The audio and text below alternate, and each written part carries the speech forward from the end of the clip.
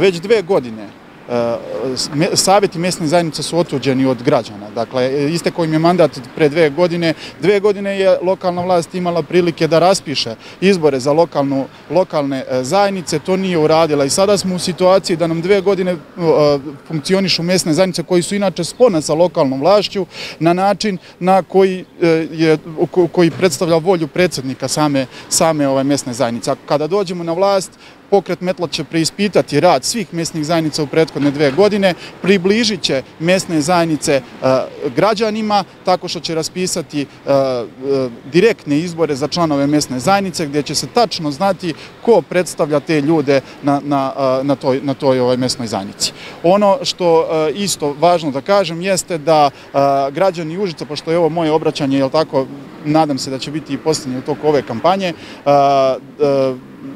da razmisle 21. za koga glasaju. Čuli ste i prethodne govornike koji su rekli argumente zbog čega je bitno da se izađe prvo na izbore 21. Odlučuje se prvo o budućnosti sve naše dece, svih ovde Užičana. Važno je da vratimo Užiče Užičanima, a da bi to uradili jedina opcija koja to istinski želi jeste e, pokret metla, odnosno Užička metla za zdravu Srbiju, redni broj 5. I nadam se da će to biti i upravo i Užički izbor.